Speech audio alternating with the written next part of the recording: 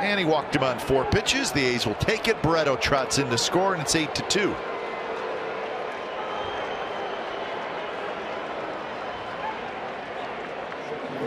Well, Don Cooper today spoke of how great Mark Buehrle was. Now he's got to watch this. And that, that's difficult for somebody. But, you know, when, you, when you've been around as long as Don Cooper has, it's kind of a reclamation project.